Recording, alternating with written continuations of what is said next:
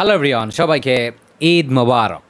বাংলাদেশ এবং নেপালের মধ্যকার ম্যাচে বাংলাদেশ নেপালকে একুশ রানে হারিয়ে এবারে বিশ্বকাপের সুপার এইটে খেলবে এবং ঈদের দিনে কিন্তু আমরা সেই খবরটা পাচ্ছি।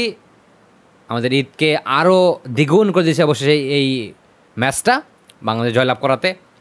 যাই হোক, এই ম্যাচের আপনাদেরকে পুরো বিস্তারিত বলার জন্য আমরা অবশ্যই বলব। যতটুকু পারি, যতটুকু মনে আছে সেটা হচ্ছে প্রথমে এই ম্যাচে বাংলাদেশ দল টসে হেরে ব্যাটিং করতে নামে এবং প্রথমে ব্যাটিং করতে নেমেই আসলে প্রথম বলেই তানজিদ হাসান তামিমের বাংলা উইকেটটা বাংলাদেশ হারিয়ে ফেলে, যেটা আসলে খুবই বড় একটা উইকেট ছিল আমার কাছে মনে হয়। ওই সময় প্রথম বলেই ডাউন দ্য গ্রাউন্ডে যে আসলে এভাবে আউট হয়ে যাওয়াটা বাংলাদেশের জন্য বিশাল একটা উইকেট ছিল, বিশাল একটা লস ছিল। এরপরে শান্ত বলেন, রিটন বলেন এবং হৃদয়, তারা আসলে কেউই দাঁড়াতে পারেননি, তিনজনই খুব তাড়াতাড়ি আউট হয়ে যান এবং বাংলাদেশ দল পাওয়ার প্লের মধ্যে চারটে উইকেট হারিয়ে ফেলে। চারটে উইকেট বাংলাদেশ পাওয়ার প্লের মধ্যে হারিয়ে ফেলে এবং এরপরে মাহমুদুল্লাহ রিয়াদ, তিনি রান আউট হয়ে যান সাকিবের সঙ্গে ভুল ভুল বোঝাবুঝি হওয়ার পরে এবং বাংলাদেশ শেষ পর্যন্ত আট উইকেট হারিয়ে ফেলে, পঁচাত্তর রানের মধ্যে বাংলাদেশ আট উইকেট হারিয়ে ফেলে। শেষের দুই উইকেটে বাংলাদেশ একত্রিশ রান যোগ করে। যেখানে তাসকিন এবং রিশাদ হোসাইনের ভূমিকা ছিল অনেক বেশি। রিশাদ সাত বলে তেরো রান করেন একটা ছয় একটা চার তিনি মেরেছিলেন আজকের ম্যাচে, যেটা অনেক বেশি ইম্প্যাক্টফুল ছিল আজকের ম্যাচের জন্য অবশ্যই। বাংলাদেশ একশো পাঁচ রান করে, একশো ছয় রান করে অবশ্য। উনিশ দশমিক তিন ওভারে একশো ছয় রান করে বাংলাদেশ অল আউট হয়ে যায়। একশো সাত রানের লক্ষ্যমাত্রা টার্গেটে টার্গেট রেখে আসে ব্যাটিং করতে নামে এক্ষেত্রে নেপাল। এবং তারাও প্রথম পাওয়ার প্লের মধ্যে পাঁচটা উইকেট হারিয়ে ফেলে। They lose five wicket I think four wicket চারটে উইকেট হারিয়ে ফেলে এবং চারটা উইকেট নিয়েছিলেন সেক্ষেত্রে তানজিদ, তানজিম হাসান সাকিব।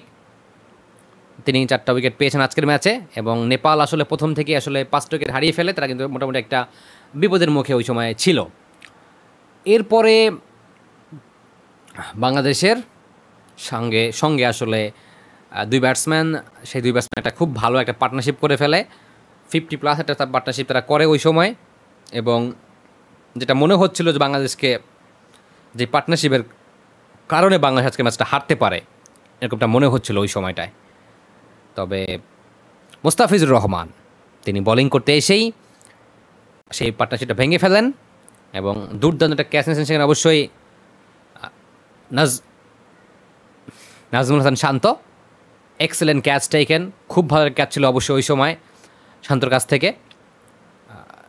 একটা প্রেশার মোমেন্টে তিনি পিছনে পিছনে ফিরে, পিছনে ব্যাকে যে আসলে ক্যাচ ধরেছেন অবশ্যই।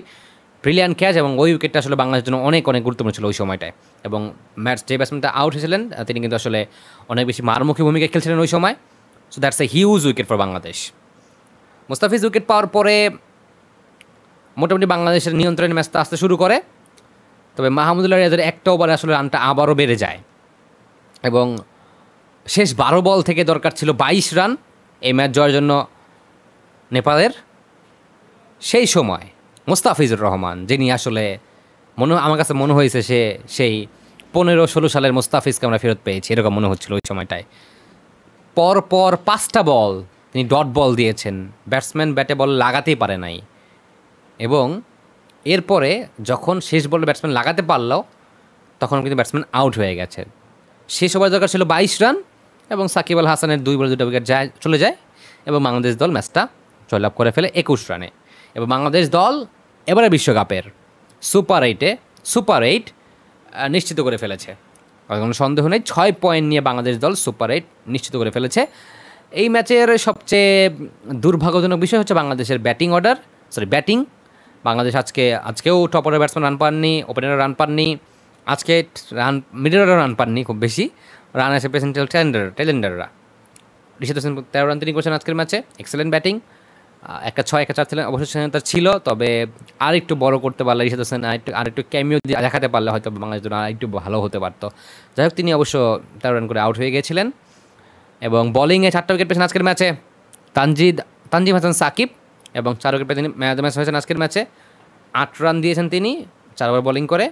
মোস্তাফিজুর রহমান, চার ওভার বোলিং করে সাত রান দিয়ে তিনি পেয়েছেন তিন উইকেট আজকের ম্যাচে। তাসকির আহমেদ পেয়েছেন একটা এবং সাকিব আল হাসান পেয়েছেন শেষ ওভারে দুটো উইকেট। এই হচ্ছে নেপালের ইনিংস এবং বাংলাদেশের উইকেট টেকারের। বাংলাদেশ বোলিং আজকেও খুব ভালো বোলিং করেছে। লেন্থ, লাইন খুব ভালো ছিল। তাস্কিন কিছুটা অবশ্যই করেছিলেন আজকের ম্যাচে। অন্যদের তুলনায় বাকি সব অবশ্য মোটামুটি লাইন লাইন বজায় রেখে ভালো বোলিংই করতে পেরেছেন। যাই হোক, জানাতে পারেন আপনাদের মূল্যবান মতামত আমাদের কমেন্ট বক্সে বাংলাদেশ আজকের ম্যাচ আপনাদের কেমন লেগেছে? এবং বাংলাদেশ দল কেবারে বিশ্বকাপের সেমিফাইনালে খেলতে পারবে? জানাতে পারেন আপনাদের মূল্যবান মতামতটি আমাদের কমেন্ট বক্সে সবাই এই মুহূর্তে একই সাথে, একই সঙ্গে। দেখা হবে খুব শীঘ্রই। নতুন কোনো ভিডিও নিয়ে। ভিডিও ভালো লাগলে অবশ্যই লাইক এবং শেয়ার করতে ভুলবেন না। Thank you